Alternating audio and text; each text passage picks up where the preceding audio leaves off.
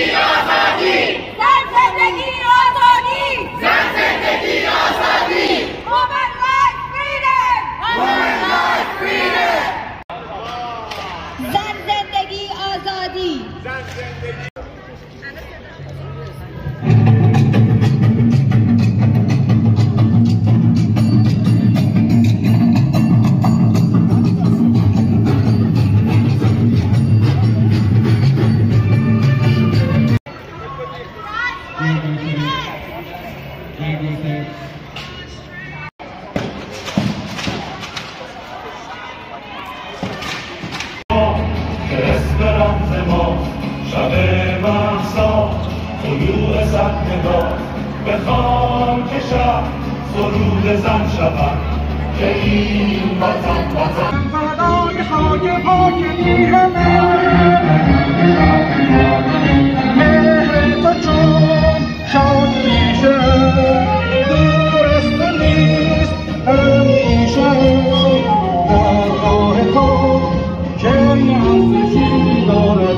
جان ما پاینده ما خاک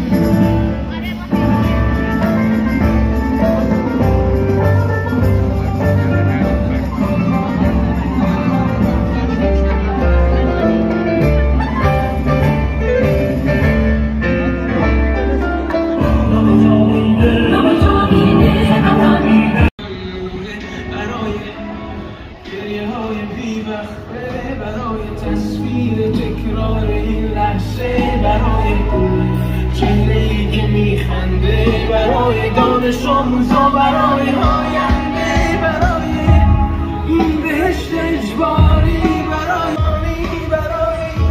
by the Islamic regime.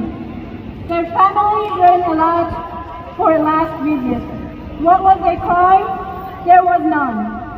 Another two innocent lives taken away by the terrorist regime occupying in Iran. We have a jam-packed program here today.